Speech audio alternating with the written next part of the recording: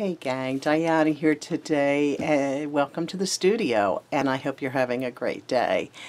I have some great news, some exciting news to share with you and that is that I'm been asked to join the Faber-Castell Design Memory Craft design team.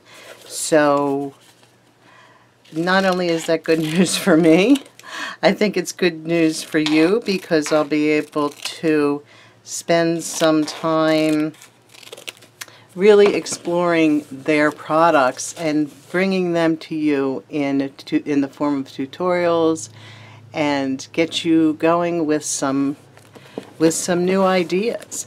So this first, my first project is, it's probably up on the blog by now and I will link that below.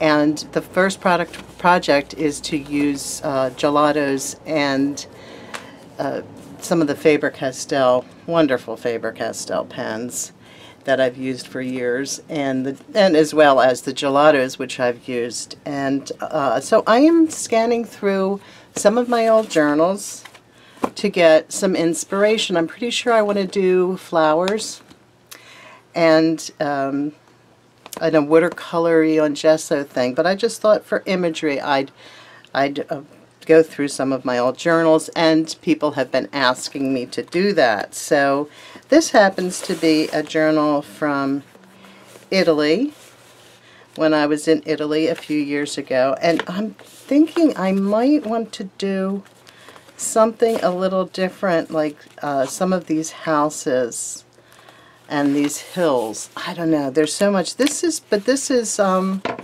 one of the ways. I also really love this.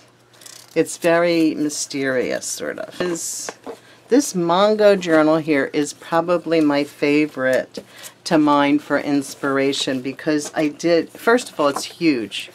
So it encompasses a lot of work. I've flipped through this before I know. But there's a lot of drawings in here. And um, there's a lot of stuff in here in general. I think this is probably one of my favorite journals altogether. Oh, these are nice. Hmm. Maybe I'll think about doing something with these. I even have a tab on that page. There's clouds. I've been thinking a lot about clouds lately. a whole lot, but that's because it's been super rainy around here. See, and on this kind of a page, this is a very in-the-moment page. Um, oh, Hope the thing with feathers. Hope is the thing with feathers. I still have some blank pages in this journal. Wow. This is not a journal you can carry around with you. this is a definitely a studio journal. This is um, one I've been working on and off with for a few years now. I do that sometimes and it is a little bit frustrating for me to do that. That's a page I did recently with some stamps. It's a little frustrating because I don't have a sense of continuity. So I'm changing that habit. I have a couple more over here. Let's see what we've got. I don't see my very most... I'll find it. This is one I just finished. I just finished this journal. And I like this windblown flower right here. That's kind of fun. See, now I'm going to get overwhelmed with ideas. But, not really. I could just flip to any one of these pages and say, that's what I'm going to do. I'm mostly, I'm doing this for a flip through for you guys, but I'll put a little sticky note on that. Here's some more sort of rock formations and stone doors. I'm trying not to complain this summer. I did that. That was just a couple months ago and I don't. I like summer, but it gets the humidity and the heat is just too much for me. I like this.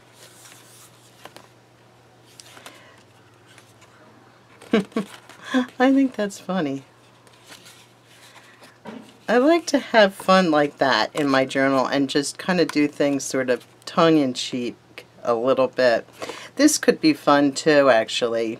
It might be, um, this might be a good composition. I might just go with this composition because I've been meaning to work with it.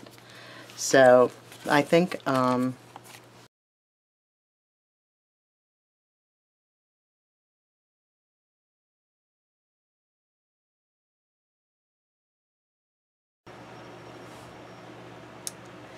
Here's one of my rescue book journals that I've been working on.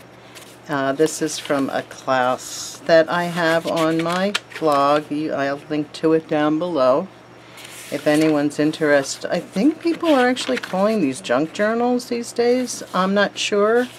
But um, this is these are mostly um, see now I'm looking at this and thinking that would be a really nice kind of idea. See, now I have too many ideas, but I could combine this background that I love with this composition. So I'm going to keep these two. I think that's probably what I'm going to do, but let me just go flipping through this a little bit. And this is one I work in pretty regularly. And this is just washi taped in a photo that I really love that I find inspirational pocket. Another photo. See, these are here for inspiration. So that, and then more, looks like that page, these pages are stuck together, but that's okay. Um, more flowers and a painted, I like this painted background, this checkered sort of painted background. That's just, again, a stencil um, and some paint. So just disrupting that page, you know, so you're not looking at the blank page. I have in here black paper, an old calendar, um, all different sorts of papers, vellum. I like to work in this kind of a journal. That's an envelope, I think, or maybe it's just a piece of, yeah, I think that's just a piece of paper, vellum, I love vellum. Just a composition. Just, that's kind of a cool composition.